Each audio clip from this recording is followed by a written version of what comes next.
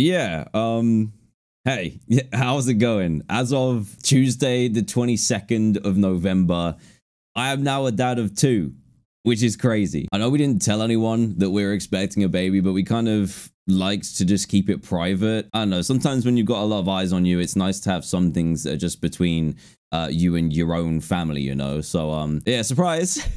a lot of you may have seen this on Twitter or Instagram, but his name is Miles, M-I-L-E-S. He will join Asher, who is his big bro. So got big bro, baby bro, and we couldn't be happier. We had a great home birth. Everything went great. And then the day after, he unfortunately had to go to hospital to have some extra checks done. And they're still there now. So um, hopefully in the next few days, we can get them home and start just living as a happy, bigger family, I guess. If you want to go see a picture, then go over to my Twitter or Instagram. I'll link them in the description below so it's easier. And as with Asher, we will be keeping his face private. So thank you for respecting that and for respecting Asher's privacy for as long as you have. We really, really appreciate it. I don't really know what else to say, but I will be taking a break from now.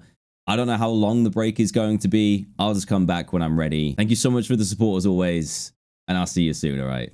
See ya.